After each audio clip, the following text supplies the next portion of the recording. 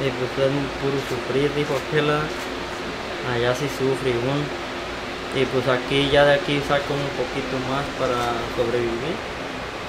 So he said that the work is really hard, but that it's better than living in poverty and that he can earn more when he comes here.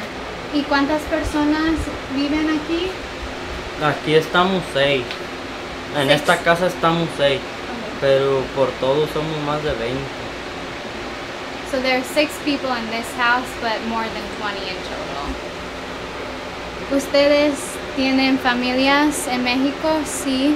Entonces mi pregunta es para ti. Y nosotros hablamos un poco sobre esto ayer, pero aquí estás en una casa con muchos hombres y Ajá. jóvenes y es muy diferente la experiencia de estar en una casa con una familia. Entonces, ¿cómo es estar aquí con todos los hombres en una casa? Pues a, a mí se me hace este bi- bien porque ellos son mis sobrinos. Él es mi sobrino.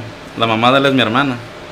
¿Verdad? Y pues nos conocemos bien y pues son mis sobrinos, ¿verdad?